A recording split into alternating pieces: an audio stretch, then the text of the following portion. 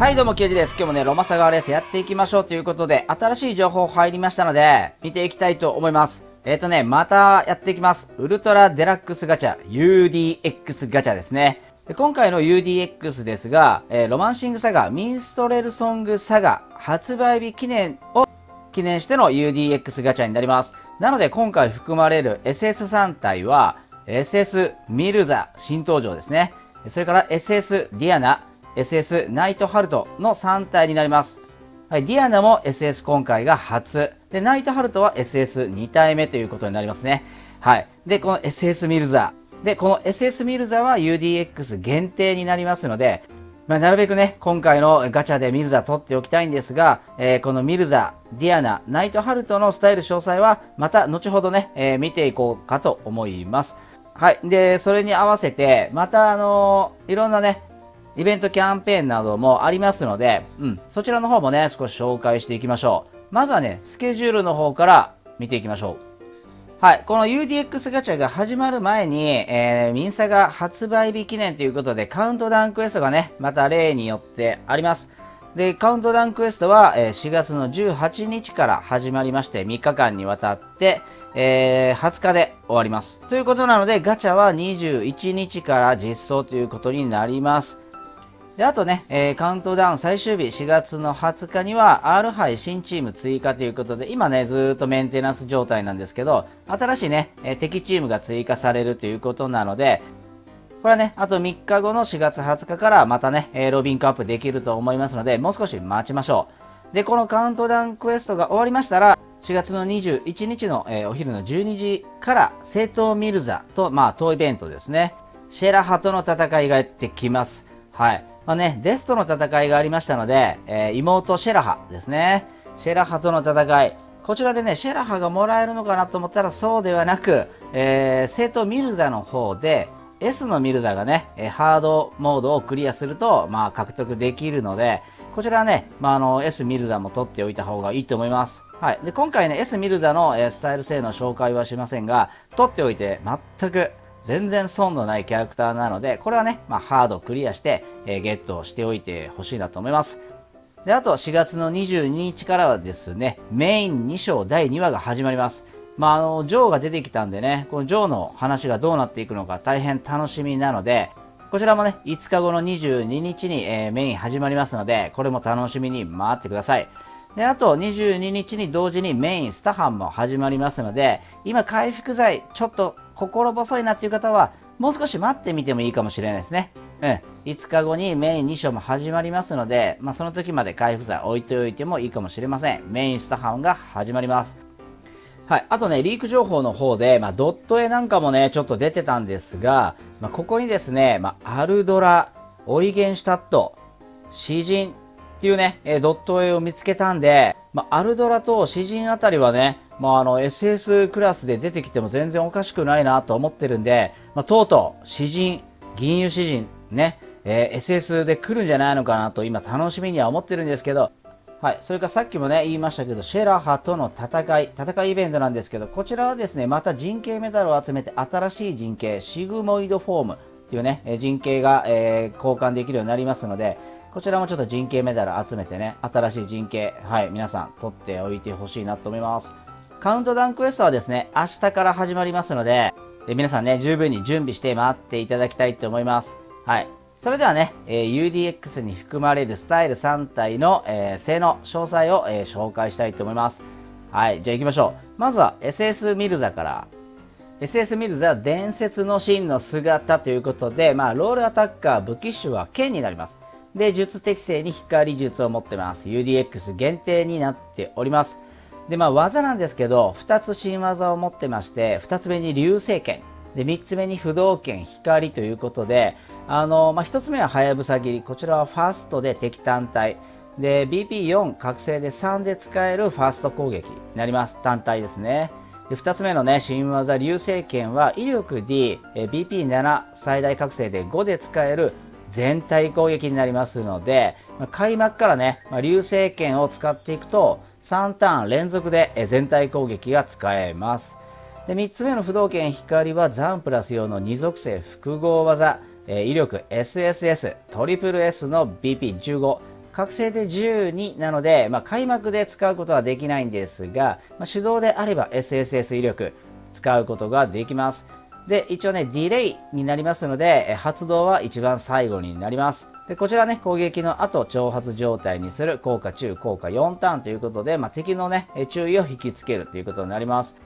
まあ、パッと見たところね、あのー、うん、どうなんだろうって一瞬思ってしまうんですが、この SS ミルザはですね、この技構成と、あとアビリティ、こちらの方が特に素晴らしいので、新アビリティ、大麻の光っていうのを一つ目に持ってます。こちらは攻撃被弾時、陰属性を含むダメージを無効化。まあね、闇属性とか、まあ、陰属性と呼ばれる攻撃は無効化します。さらに、直接攻撃に対してセイントファイヤーで反撃ということで、直接攻撃に対してまカウンターをするんですが、光術のブルーとかがね、まあ、持っている術にはなるんですが、こちら光術で敵横一列、陽プラス熱、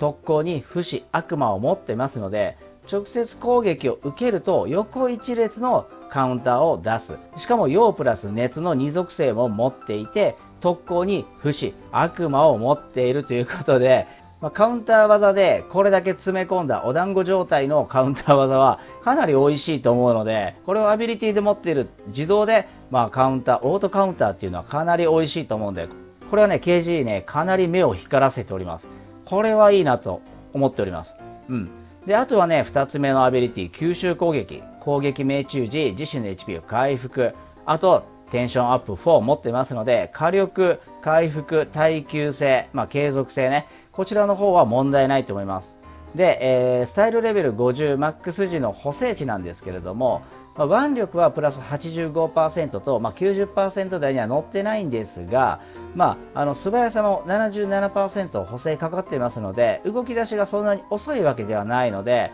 うん、敵全体の流星剣なんかも割と早い段階で出してくれると思いますし、まあ、BP がね、えー、尽きた頃はファストのはやぶさ切りももさらに持っていますのであのアタッカー攻撃面に関しては何の問題はないと思いますね。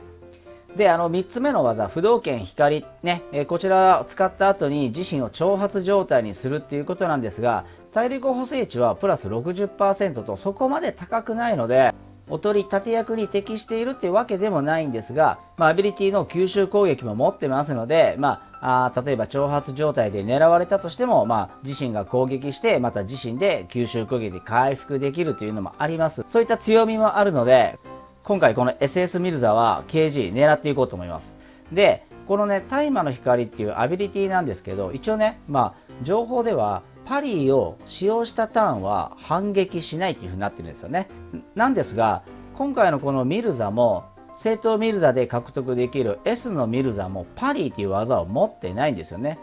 なので、ここにこの記載があるってことは、今後また違う形でミルザが出て、パリー持ちのね、ミルザが出ると思いますので、それも加味したら早い段階で出てくるんじゃないのかなと思うんで、今回このミルザは逃さず取っておいて損はないキャラクターになると思いますので、ぜひ皆さん参考にしてください。はい、ということで、じゃあね、早速次行きましょうか。次は SS のディアナ行きましょう。こちら。はい、SS ディアナ忘れてしまった何かロールはアタッカー武器種小剣になりますね。で、このディアナ、今回初の SS スタイルになるんですけれども、これがね、結構ね、いいんですよ。今回のディアナも。え、ミルザに続いてディアナもいいんで、よく聞いといてほしいんですけど、技、一つ目にアロンジェ、新技ですね。で、こちら、突攻撃、威力 B、えー、BP6、覚醒で5で使える直接単体攻撃。で、二つ目に百花繚乱を持ってるんですよね。こちらがね、百花繚乱はかなり使える技。威力 A の BP6、A ループで使える百花繚乱は、今回このディアナ、補正値、清さ、ちょっとね、先に見ていただきたいんですけど、スタイルレベル50マックス時の補正値なんですけど、清さが89%プラスボーナス12と、かなり高いところにある。うん。90%まであと少しだったんだけど、強さの補正値高いし、素早さの補正値も80%あるので、この百花繚乱 A 威力の BP6、これはかなり強い技なので、このディアナにはもってこいの技だと思うので、これはね、かなりいい技を持ってきたなと思ってます。セルバがね、100カリオーラ持ってるんですけど、かなり高い威力を出しますので、この SS ディアナも100カリオーラを持ってきたことによって、運用の幅がかなり広がったと思うんで、ここも狙い目なんですよね。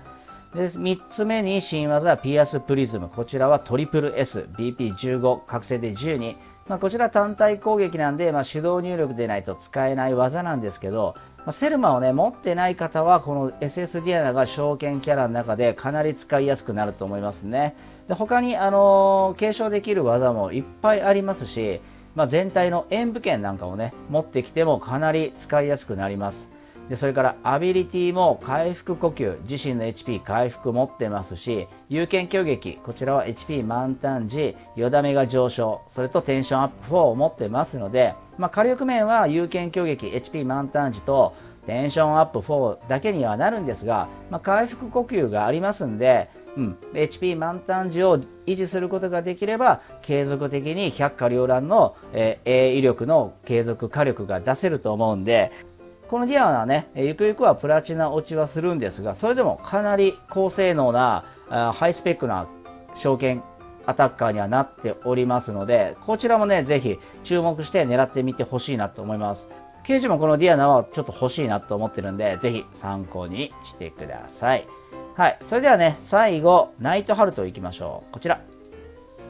SS ナイトハルト、エロールの加護あれということで、こちらはね、役割、ロールはディフェンダーの武器種やり、まあ、術適性はないんですが、前回のナイトハルトはね、KG ちょっと取れなかったんで、あのー、比較することがちょっとできないんですが、今回のナイトハルトを見てるだけでは、このナイトハルト、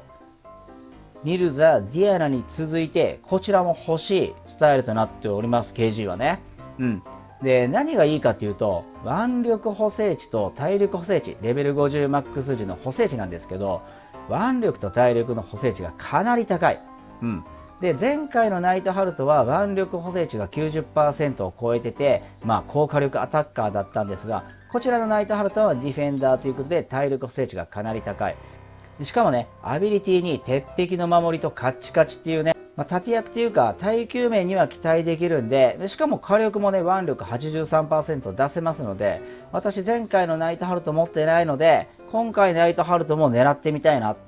ということで、今回のね、この UDX の3体は全部当たりだと思います。これはね、なかなかここ最近ないね。うん、3体とも絶対損はないキャラクターなので狙ってほしいと思うんですが、このナイトハルトのね、技なんですけど、まあ、1つ目は草伏せ。これはもうすでに出ている技なんですけど、敵単体なんですけれども、凸プラス残の2属性で、えー、威力 D、BP3、覚醒で2で使える2属性の攻撃。